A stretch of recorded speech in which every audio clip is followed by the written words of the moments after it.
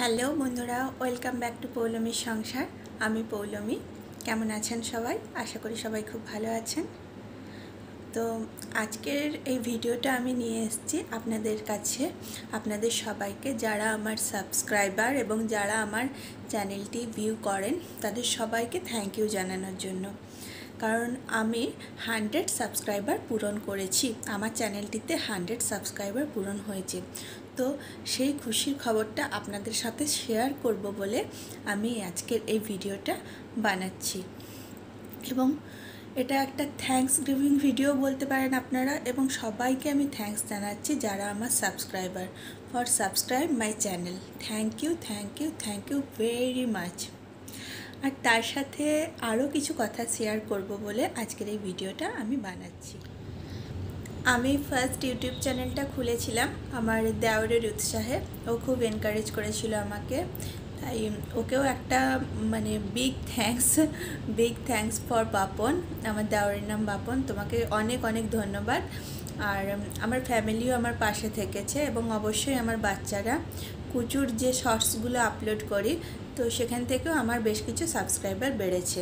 এবং আমার কুচুকে আপনাদের ভালোবাসা দেওয়ার জন্য সত্যি আমি খুবই কৃতজ্ঞ আপনাদের কাছে এবং অনেক অনেক ধন্যবাদ তার জন্য। এবার আমি কিছু কথা শেয়ার করছি। ফার্স্ট যখন ব্লগ বানিয়েছিলাম, আমার বাড়ির ছবি দিয়ে আমি ব্লগ বানিয়েছিলাম এবং সেটা কিছু জন, খুব সামান্য কিছু জনের কাছে আমি হোয়াটসঅ্যাপে সেন্ড করেছিলাম। তো সেখান থেকে কিছু জনের কাছ থেকে আমি পজিটিভ অ্যান্সার পেয়েছিলাম। আর কিছু জনের কাছ থেকে খুব খারাপ টাইপের অ্যান্সারও পেয়েছি, যদিও আমি সেটাতে কিছু মনে করিনি। আমার কোনো ফ্রেন্ড আমাকে জিজ্ঞাসা করেছিল যে তোমার কি টাকার অভাব? তুমি এইভাবে টাকা ইনকাম করতে চাইছো? তো তারপরে আর তাকে সেই অ্যান্সারটা দেওয়া হয়নি। আর আমি এটাতে বিশ্বাসীও নয় যে সব কিছু মুখের ওপর বলে দিলেই অ্যান্সার দেওয়া যায়। কথা তো সবাই বলতে পারে, কিন্তু সেই কথাটা কার খারাপ লাগল, কার ভালো লাগল, সেটা দেখেই বলা উচিত। না, টাকা, ইনকামটা বড় কথা না। হ্যাঁ ইনকাম সবাই করতে চায়, কিন্তু ইউটিউব থেকে হান্ড্রেড সাবস্ক্রাইবার পূরণ হলে তো আর টাকা ইনকাম করা যায় না, সবাই জানেন। আর সাবস্ক্রাইবার করে ওয়াচ টাইম বাড়িয়ে, আর আমার পক্ষে বিশেষ করে দুটো বাচ্চা সামলে ফ্যামিলি সামলে, করাটা সত্যি খুব টাফ ব্যাপার। তাও, কি বলুন তো ভালো লাগে। কিছু একটা কাজে নিজেকে এনগেজ রেখেছি, বাইরের আদার্স কিছু চিন্তা ভাবনা, বাইরের গসিপ থেকে নিজেকে সরিয়ে, নিজের কাজে নিজেকে এনগেজ রেখে, এই যে এডিটিংয়ের কাজ, এটাও তো একটা শেখা না? আর ইনকামের ব্যাপারটা সত্যি কথা বলতে ওয়েস্ট বেঙ্গলে থেকে এই মুহূর্তে আমার যে কোয়ালিফিকেশান আছে আমি যেমন বিএসসি বিএসসি করেছি সায়েন্স গ্র্যাজুয়েট আমি, এবং তারপর বিএড করেছি। আমি আপার প্রাইমারিতে এক্সাম দিয়েছি। আপার প্রাইমারিতে ফার্স্টবার ইন্টারভিউ দিয়ে এসেছিলাম। প্যানেলে নাম ছিল, কিন্তু তারপরে প্যানেলটি ক্যান্সেল হয়ে গেছিল এবং তারপরে আবার যে সেকেন্ড টাইমস আপার প্রাইমারিতে ইন্টারভিউ নেওয়া হয়েছিল, তাতেও আমি ডাক পেয়েছিলাম। একদম ফার্স্ট ভেরিফিকেশানেই আমি ডাক পেয়েছিলাম এবং আবার ইন্টারভিউ দিয়ে এসেছি। কিন্তু সেই আপার প্রাইমারি প্রসেস এখনও হচ্ছে না এখনও চলছে। আমি দু হাজার বারো সালের যে টেট হয়েছিল আপার প্রাইমারির আমি সেই টেটে পাশ করেছিলাম এবং আমার পার্সেন্টেজটা মোটামুটি ভালো জায়গাতে ছিল। আপার প্রাইমারির টেটের যে পার্সেন্টেজটা খুব ভালো জায়গায় ছিল এবং প্রথমে যখন আপার প্রাইমারির জন্য ডাকা হয়, আমি ফার্স্ট ফেজেই ডাক পেয়েছিলাম। কিন্তু প্রসেসিং হচ্ছে না, তার ফলে আর নিয়োগও হচ্ছে না। তো আমি এইরকম একটা জায়গায় দাঁড়িয়ে আছি। তো আমার যে বন্ধুটি আমাকে জিজ্ঞাসা করেছিল, তুমি কি, তোমার কি পয়সার এত কম পড়ে গেছে? তুমি আবার ইউটিউব করছ? না, এটা পয়সার প্রশ্ন নয়, এটা নিজের কোনো আইডেন্টিটির প্রশ্ন। হ্যাঁ সব কিছুই আছে, আমি ঠিকই আছি।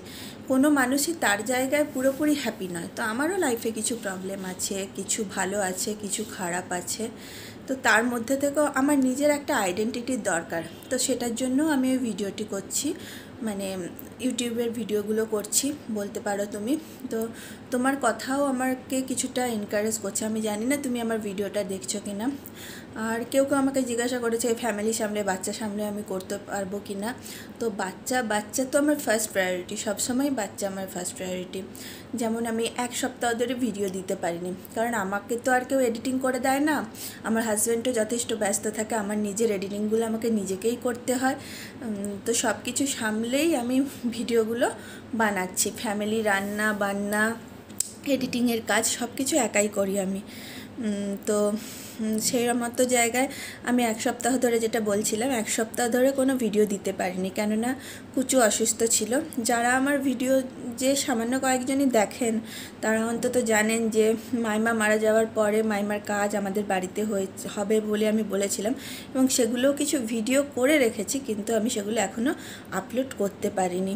কেননা বাড়ি মানে আমার বাচ্চা আমার ফার্স্ট প্রায়োরিটি ওদেরকে সময় দেওয়ার পর আমি ইউটিউবের কাজগুলো করি ভিডিও এডিটিংয়ের কাজগুলো করি। আর কি বলব? তো যারা আমার চ্যানেলটি সাবস্ক্রাইব করেছেন, আপনাদেরকে অনেক অনেক ধন্যবাদ। আপনারা যদি পাশে থাকেন, আমি সত্যি আরও অনেক এগিয়ে যেতে পারব, যেটা আমার হান্ড্রেড সাবস্ক্রাইবার পূরণ হয়েছে।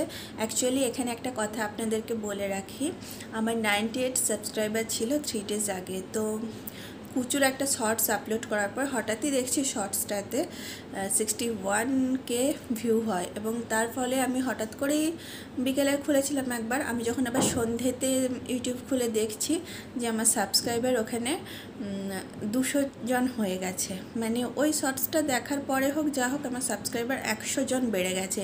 নাইনটি এইট থেকে টু হান্ড্রেড আপ হয়ে গেছে। তো থ্যাংক ইউ যারা আমার চ্যানেলটি সাবস্ক্রাইব করেছেন প্লিজ পাশে থাকুন। আমি চেষ্টা করব আপনাদেরকে ভালো ভালো ভিডিও ভালো ভালো শর্টস উপহার দেওয়ার জন্য।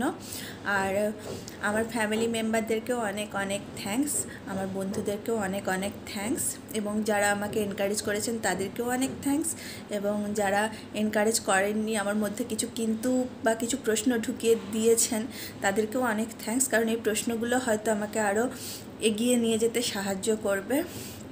আর কি বলব? পাশে থাকুন। আবার চেষ্টা করছি ভালো ভিডিও দেওয়ার জন্য। অ্যাকচুয়ালি ভিডিওটা অনেক দিনই বন্ধ ছিল, কুচু অসুস্থ ছিল বলে। আর সব কিছু সামলে আমি একাই এডিটিং করি, তো তাই দেওয়াটা সত্যি পসিবল হয়ে ওঠে না সবসময়। তবে আমি চেষ্টা করব পার ডে ভিডিও দেখে মানে দেওয়ার জন্য। প্লিজ পাশে থাকুন সবাই। আর আমার কুচু, আমার বেটু, এদেরকে প্লিজ আশীর্বাদ করবেন। আর কি বলব? ভালো থাকবেন সবাই। আর যারা নতুন আমার ভিডিওগুলো দেখবেন প্লিজ আমার চ্যানেলটি সাবস্ক্রাইব করে নেবেন। থ্যাংক ইউ থ্যাংক ইউ বন্ধুরা।